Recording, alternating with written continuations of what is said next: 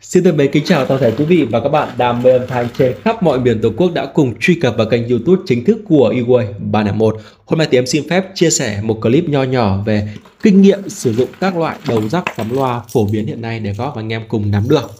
À, trước tiên đi về chia sẻ kinh nghiệm thì em xin giải đáp hai câu hỏi của khá là nhiều anh em có đang băn khoăn thắc mắc. Thứ nhất là có nên sử dụng rắc cắm loa hay không?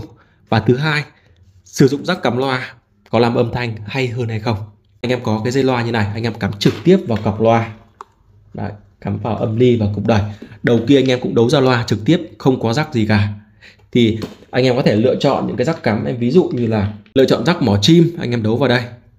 Đấy sau đó anh em mới kẹp vào cọc loa. Đây anh em cùng cùng theo dõi đây.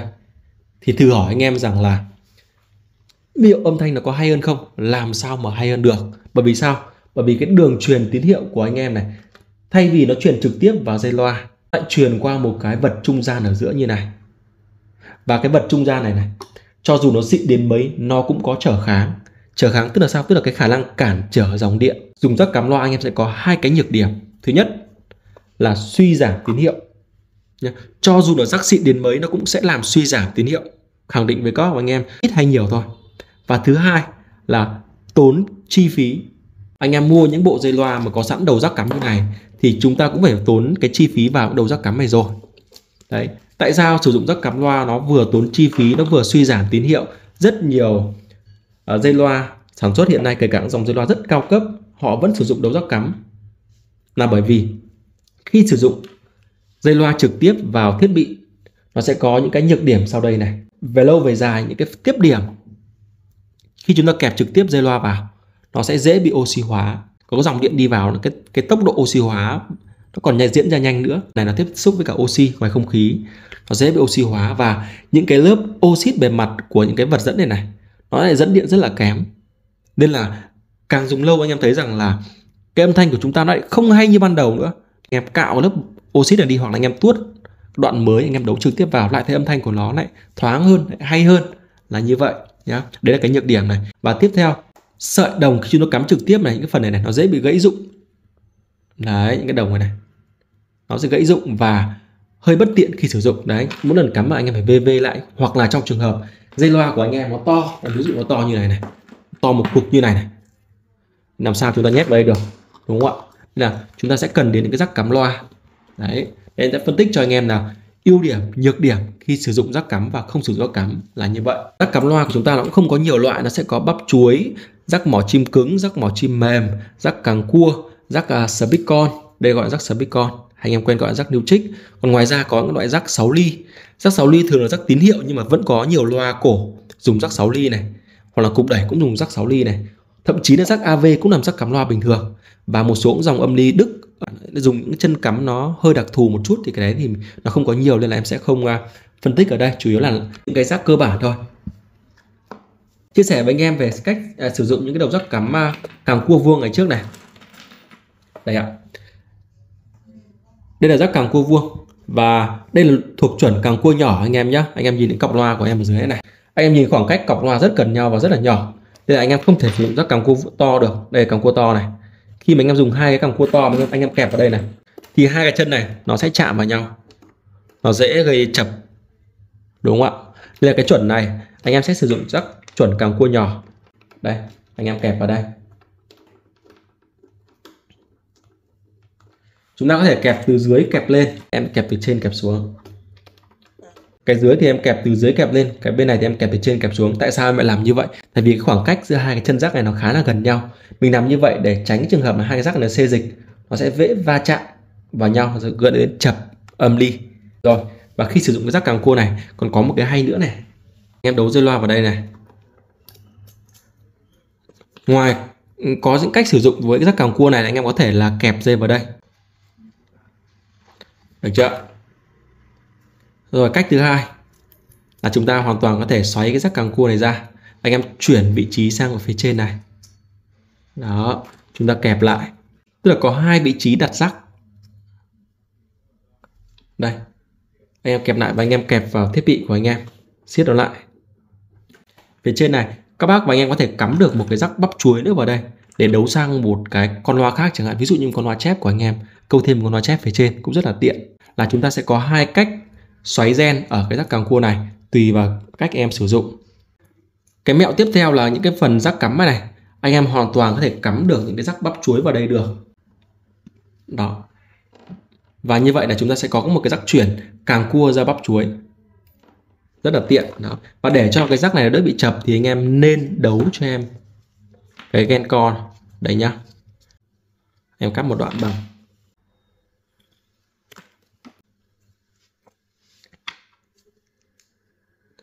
Mình sẽ lấy một đoạn co đỏ này. Vừa để chúng ta phân biệt đầu rắc âm, đầu rắc dương và nó đỡ trong quá trình chúng ta sử dụng nó bị chạm chập được chưa? Rồi. Cái này thì anh em xoáy chặt nó vào nhé xoáy chặt rèn lại để tiếp xúc cho nó tốt nhất. Đó. Giờ anh em sẽ lấy bật lửa em kho. Để cái co nhiệt thì khi vào nhiệt độ cao nó sẽ co lại. Em ví dụ như này.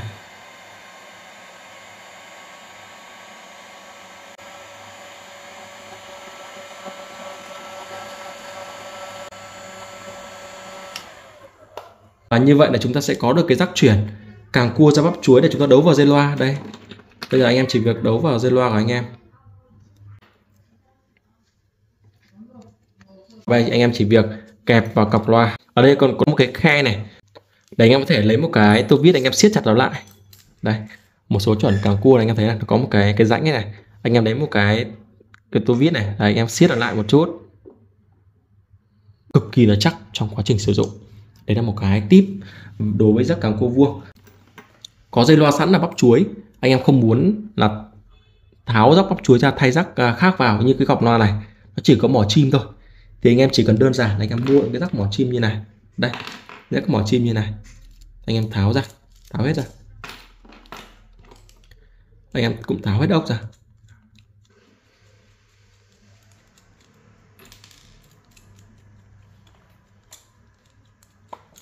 Mình có thể cắm được cái rắc bắp chuối nữa vào đây.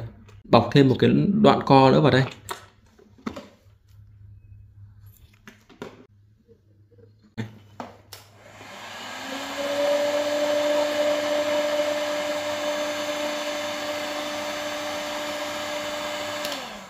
Đó, đơn giản vậy thôi. Như vậy là anh em không cần phải là thay rắc anh em có thể kẹp vào đây. Đấy. Đấy. rắc mỏ chim cứng đơn giản để cái rắc này nó cứng này. Thì anh em cũng có thể cắm bắp chuối vào đây. Tất cả những rắc cắm cả bắp chuối như thế nó có cái cái vỏ nhôm bên ngoài như này. Thì nó rất dễ bị chập chạm với nhau. Đấy anh em nhìn này nếu mà hai cái to như này. Thì em gài và anh thấy không? Nếu chúng ta không bọc cách điện cái phần này, nó sẽ dễ bị chập chạm. Kể cả lắp bắp chuối như này.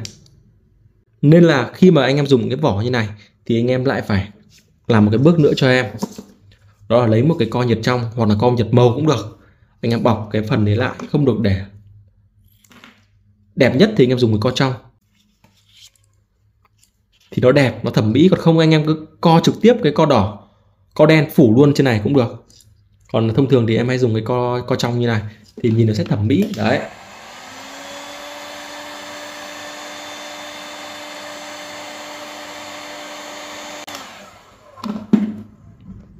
Đó khi anh em bọc cả à, hai cái đầu cả đỏ có đen vào bằng co trong như này thì nó vừa giúp là bảo vệ cái rắc và thứ hai là tránh bị chạm chập khi chúng ta sử dụng. Đấy là một cái lưu ý tiếp theo. Dạo gần đây thì em sẽ đặt nhà máy không thiết kế cái phần gen này nữa. Tức là em chỉ nhập nguyên một cái, cái phần lõi rắc không thôi để cho nó tiết kiệm chi phí. Nên anh em thấy nó vẫn có cái phần gen ở đây này.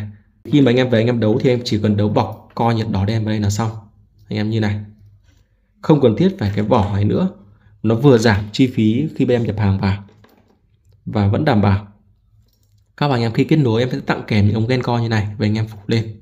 Nên em thấy rằng có những cái mỏ chim cứng như này này em thấy nó có cái gen ở đây. Không phải bên em quên gửi cho khách hàng mà tại vì là bên em không nhập chủ động không nhập những cái cái gen đi cùng luôn. Để như này thậm chí là có những bộ loa như này. Đấy, anh em xem. Em bọc co trong còn để lộ ra cơ. Đây.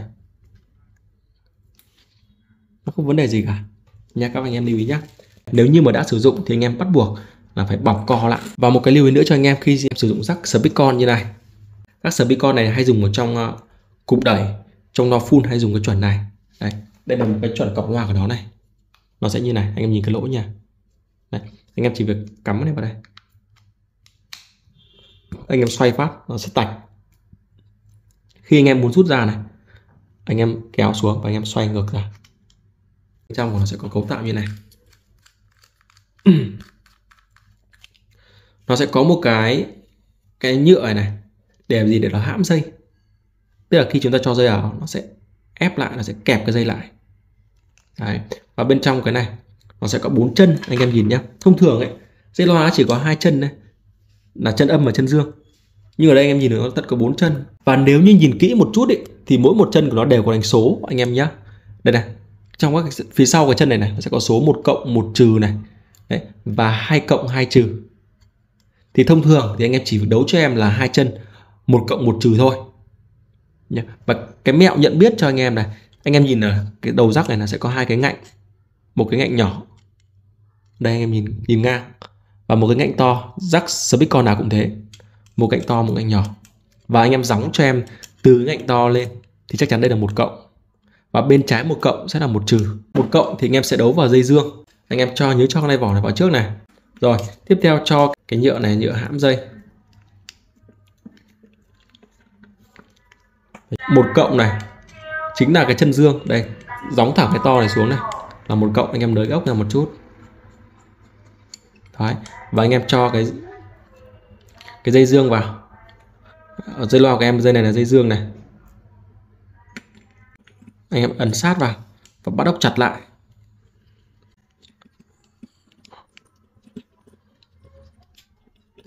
Rồi, bên trái một cộng là một trừ một trừ thì anh em bắt dây âm vào. Đây là dây âm, thì anh em xoắn dây âm vào này. Rồi. Anh em bắt chặt lại. Và bây giờ anh em đẩy lên này. Anh em đẩy cái lên này. Vào cái này. Trong cái rác này có một cái rãnh này. Anh em cho cái mấu đúng vào đấy là là cắm một phát ăn ngay. Đấy, là tụt xuống. Rồi anh em vặn chặt lại.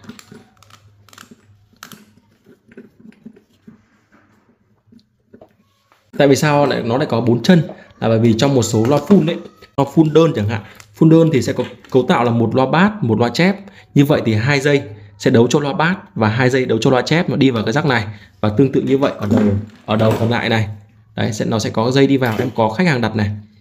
Đây một cặp dây này là đi vào một cộng một trừ đấu cho loa bát. Đấy, và một cặp dây này đi vào hai cộng hai trừ đấu cho loa chép. Thế nhưng bởi vì là bên trong những con loa full, thì đại đa số là sử dụng mạch phân tần thụ động, nên là hai cái loa bát và loa chép nó sẽ đi chung ở cái chân, một cộng một trừ thôi, nên anh em chỉ cần đấu âm dương và một cộng một trừ là xong. Vừa rồi thì em vừa chia sẻ à, một số kinh nghiệm nho nhỏ để anh em sử dụng những cái rắc cắm loa phổ biến hiện nay. Và cuối cùng là em xin phép báo giá cho anh em một số những loại rắc cắm phổ biến thôi, còn rắc cao cấp hơn thì anh em có thể liên hệ bên em nhé.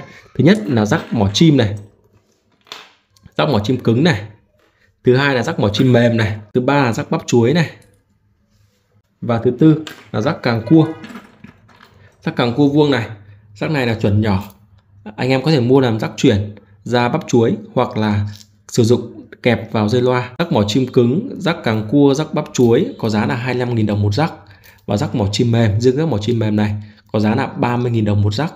Và bên em có tặng kèm những ống ken co nhiệt đỏ đen để về các bạn anh em bọc cho những cái đầu rắc này nếu như có anh em nào mà cần những cái rắc cắm này thì có thể liên hệ bên em để đặt hàng.